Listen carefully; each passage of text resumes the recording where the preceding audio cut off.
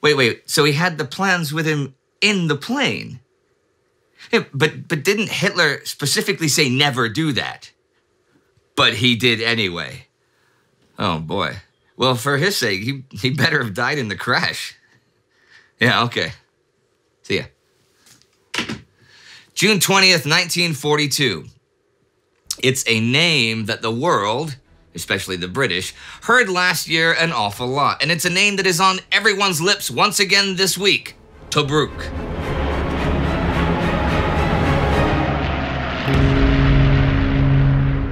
I'm Indy Neidell. This is World War II. Last week, the Axis had the beginnings of success in cracking the fortress town of Sevastopol, but they had the beginnings of major success in North Africa, knocking back the Eighth Army and putting it in a dire situation. Two Allied convoys, specifically to help the Allied situation in Africa, left their ports last week for Malta. These are the Harpoon and Vigorous convoys. And as we've seen, the supply situation on Malta all spring has been very serious. The Allies have finally managed to get some planes in lately to defend the island against the seemingly endless Axis bombing campaign, but Malta needs supplies if it is to survive, hence the convoys. Alban Curteis leads Harpoon convoy from Gibraltar the 11th, six merchant ships escorted by the battleship Malaya, carriers Eagle and Argus, four cruisers, and 17 destroyers. Philip Vian leads vigorous convoy from Port Said, Haifa, and Alexandria, also starting the 11th. He has eight cruisers and 26 destroyers to cover 11 merchant ships. Vigorous is hit by air first on the 13th. Torpedo boats join in on the 14th, sinking a destroyer. Air attacks the 15th, sink two more destroyers. The merchants are now down to six ships. Ammunition is running low, and they discover that Italian battleships Littorio and Vittorio Veneto are on their way with cruiser and destroyer escorts. The convoy turns back. On the 16th, the cruiser Hermione is sunk by a U boat. German and Italian planes attack Harpoon on the 14th. On the 15th, the convoy escort is only a close escort of cruisers and destroyers, and they are again attacked. Two destroyers and three merchant ships are sunk. Only two merchant ships reach Malta the 16th. The tanker Kentucky is one of the ships sunk, which means no new aviation fuel arrives for the dwindling RAF stocks the British do get a bit of revenge when Littorio is damaged by air attack and an Italian heavy cruiser is sunk by a submarine. This whole thing has been a bit of a relief, though, for the British Eighth Army fighting in North Africa during the whole time, since most of the German planes in North Africa have been involved in hunting the convoys. This is not to say the situation for the Allies is by any means easy down there. On the 14th, British Prime Minister Winston Churchill asks Middle Eastern Theater Commander Claude Auchinleck by telegram To what position does Ritchie want to withdraw the Gazala troops? Presume there is no question in any case of giving up Tobruk. Neil Ritchie commands the 8th Army in North Africa. Auchinleck replies the 15th I have no intention whatever of giving up Tobruk. Now, we saw the seemingly endless siege of Tobruk last year, month after month. And already back in February this year, both Auchinleck and Ritchie agreed that should Axis commander Erwin Rommel mount a successful offensive, they would not try to hold Tobruk again. Another such siege and the huge drain on resources it would entail was not an option, so the general plans were to avoid being pushed into any such position, into which they now have been pushed. But giving up Tobruk, the epic story of the siege, had been a huge morale boost back home. And how would people react now if they just gave it up? Auchinleck thinks that Rommel must now be close to exhaustion, short on ammunition, and unable to maintain the pace of his attacks. So he orders Ritchie to hold Tobruk and hold the line Akroma, El Adem, Bir Gubi. Well, Ritchie has the 50th Division and the 1st South African Division, who, as we saw, were mostly isolated last week, withdrawn from the Gazala line. That begins the night of the 14th. The South Africans along the coast, and the 50th south around Bir Hakeim, then through the desert to the frontier. Ritchie has also ordered the supply dump at Belhamed destroyed should the enemy get close. There is nearly 6 million liters of gasoline there, and they prefer Rommel not getting his hands on it. So, the British situation so far, once all the forces west of Akroma have been evacuated, is that they've been driven back 130 kilometers to a line from Tobruk to El Adem to desert. Rommel has, of course, detected the withdrawal and thinks they're pulling back to the Egyptian border. He reports this to Ettore Bastico, his superior, and gets the order to take Tobruk. The Axis also cannot have another long siege there because they plan on withdrawing the Luftwaffe to help take Malta soon. And since Hitler has banned troop transports by sea until that happens, Rommel is not getting any reinforcements that could mount a long siege. He's already planning on attacking anyhow, though. He sends the 90th Light towards El Adem and the 21st Panzers toward Belhamed the 15th. Rommel writes to his wife already that day The battle has been won, and the enemy is breaking up. We're now mopping up encircled remnants of their army. I needn't tell you how delighted I am. Those attacks are stopped, actually.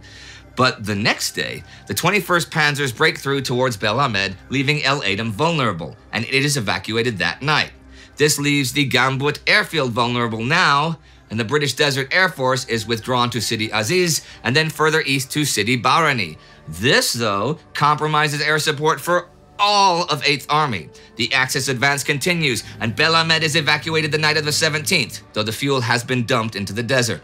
Rommel's armor reaches the coast that night, and Tobruk is once again surrounded. In fact, the British are cleared 65 kilometers eastward from it, and it is once again under siege. Rommel tells Berlin this the 18th and asks for Luftwaffe help in eliminating it as quickly as possible. Area Luftwaffe Commander Smiling Albert Kesselring will assist. In fact, he even brings in planes from Greece and Crete for the operation, which is to use every bomber unit in North Africa as well. The Axis have a continuous perimeter by land around Tobruk.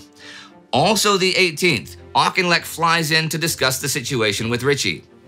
What General Auchinleck found was that a complete disaster had overtaken Ritchie's command. Tobruk was surrounded, 8th Army had been virtually evicted from Libya, and the employment of a force capable of mounting any counterattack was just wishful thinking. Rommel orders his attack to begin today, the 20th, and Tobruk in 1942 is not the same fortress as Tobruk in 1941 was. That February decision to not hold it meant it had not been maintained or beefed up as a strong point. Barbed wire and minefields were removed and used on the Gazala line, and even some of the anti tank ditches collapsed or, or, were filled in. There are two brigades of the 2nd South African Division there, as well as the 201st Guards Brigade, the 11th Indian Infantry, and administration units. There are no planes and not very much AA either to stop enemy planes. There are tons of supplies, thousands of tons of them, 7,000 tons of water, one and a half million liters of fuel, and 3 million food rations within the 48 kilometer perimeter. On the night of the 19th, Rommel brings the Afrika Korps around to the eastern perimeter for the first big assault.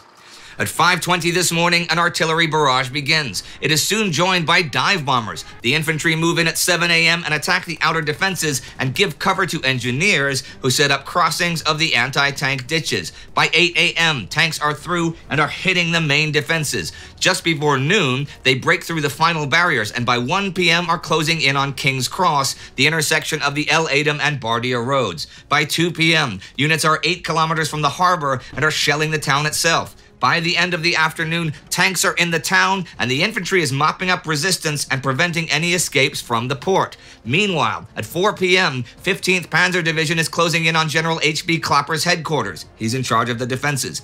He orders the radios and phone exchange destroyed. However, the Panzers head southwest to instead hit the rear of some as yet untouched defenders. Klopper decides to set up a new command post to the northwest, but, you know, now he's got real communications issues since he just had them destroyed.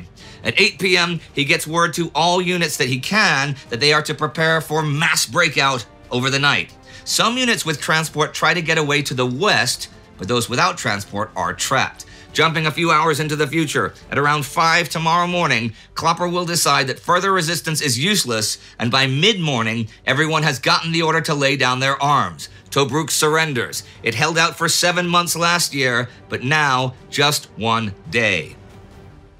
Some units do not stop fighting, though, and around 400 men manage to escape and fight their way all the way to Egypt, one group taking a full 38 days to do so. 33,000 prisoners are taken by the Axis, and the attack is too quick for the defenders to destroy the supplies. So most of them are taken as well, including 2,000 vehicles of various kinds. In one fell swoop, South Africa has just lost a third of their forces in the field. This is a catastrophic blow to British morale. Winston Churchill has recently arrived in Washington when he gets the news, and he is stunned. The battles at Gazala and Tobruk were a humiliating experience for the Eighth Army. It had met the enemy on ground more or less of its own choosing. It had begun by possessing a considerable numerical advantage, particularly in armor. At one time, it had had Rommel at its mercy, and yet it had once again been defeated in detail. As for Erwin Rommel and Panzerarmee Afrika, his fame is now global for conquering Libya and devastating Eighth Army. He is immediately promoted to Generalfeldmarschall and is unquestionably Germany's most famous general. All wonder far and wide, what will his next triumph be? However, he's not the only German advancing this week. In the Battle of Sevastopol, on the 17th, Fort Siberia falls to the Axis. The 18th, Fort Maxim Gorky falls. The 20th, Fort Lenin falls. On just the 17th, actually, 54th Corps finally has some real success capturing six Soviet fortifications on the north side. Over the next few days, they managed to take the whole north shore of Severnaya Bay, but at the cost of very heavy casualties. By this time, the Soviet garrison in general is running low on supplies and men, but ships run the gauntlet and bring in ammunition and 3,000 men. But they can't keep that up forever. On the other hand, destroying a fort means blowing it out of the ground where they're anchored with steel and concrete, and some are hundreds of meters long, so this is taking time.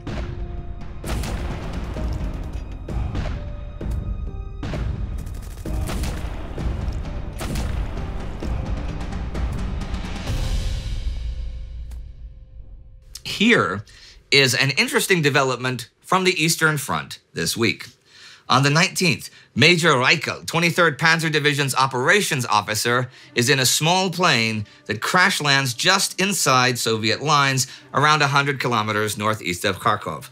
Contrary to Adolf Hitler's explicit instructions about not carrying orders on planes, Reichel has in his briefcase the general outline for Phase 1 of Fall Blau, the impending huge German offensive, and the operational orders for 40th Panzer Corps. Once they discover he's missing, a German patrol goes out searching. They find the wrecked plane, but not him. Reichel does not only, of course, carry Fall Blau in his papers, he carries it in his head as well. So not finding him either dead or alive is a pretty serious deal.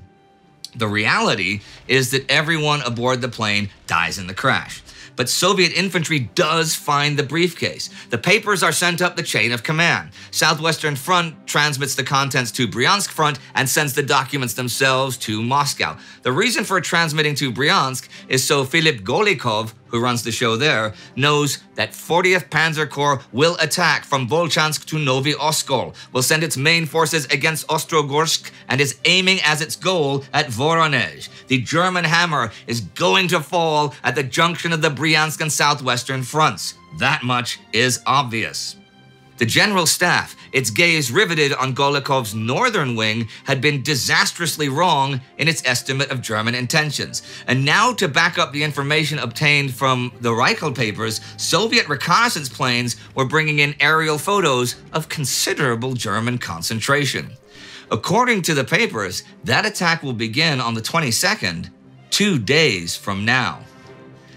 Something else that begins this week is the Manhattan Project. Okay, it's not called that until August. The U.S. Army Chief of Engineers, Eugene Reybold, chooses James Marshall to run the U.S. Army's part of this joint effort with the British. Marshall sets up temporary headquarters in New York where he can get assistance from the Army Corps of Engineers. So the project is informally known as the Manhattan Engineer District. What this is, is a research and development project to see if nuclear weapons are possible and to try and build them. More on this as it develops. We also have a special that talks about it in more detail. We do, actually. I don't know when that comes out, but we do. So, okay.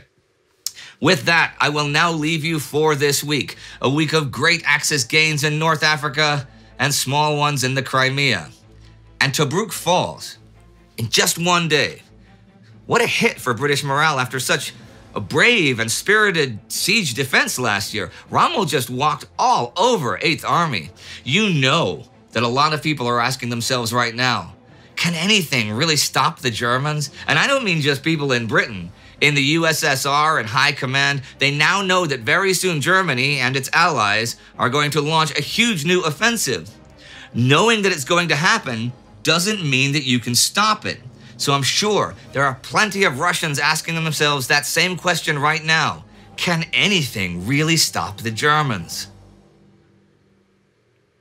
The Manhattan Project may be a beginning of nuclear weapon manufacturing, but if you'd like to see what was going on with nuclear weapons down the road a bit, check out our day zero episode of the Cuban Missile Crisis Day by Day we did the other year. Yeah, last year. You can check it out right here. Our Time Ghost Army member of the week is David Uzomian, which is a cool name. It is thanks to David and the Army that we can make this series, the Cuba series, and all of our series. So join the Time Ghost Army at patreon.com or timeghost.tv. Do not forget to subscribe, and I will see you next time.